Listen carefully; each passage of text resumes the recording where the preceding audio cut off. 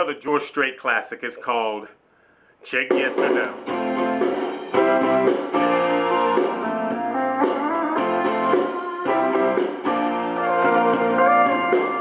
It started way back in third grade.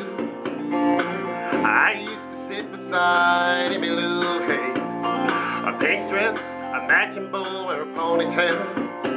She kissed me on the school bus, but told me not to tell.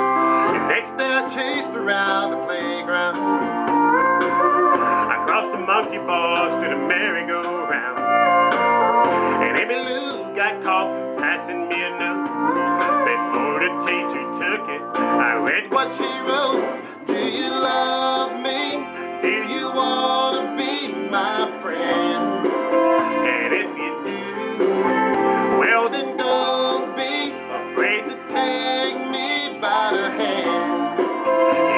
If you want to, I think this is how love goes. Check yes or no.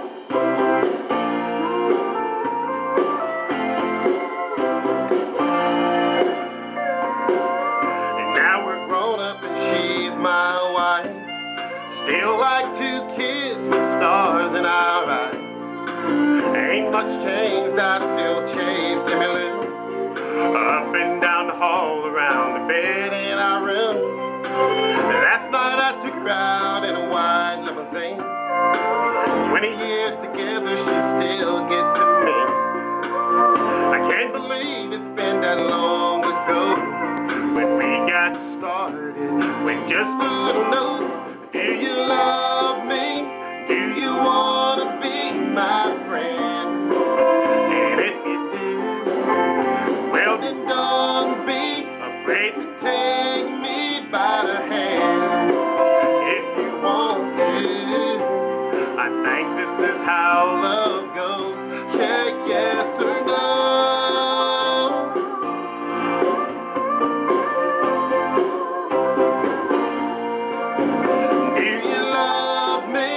Do you want to be my friend?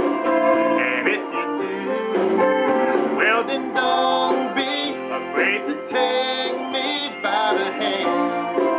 If you want to, I think this is how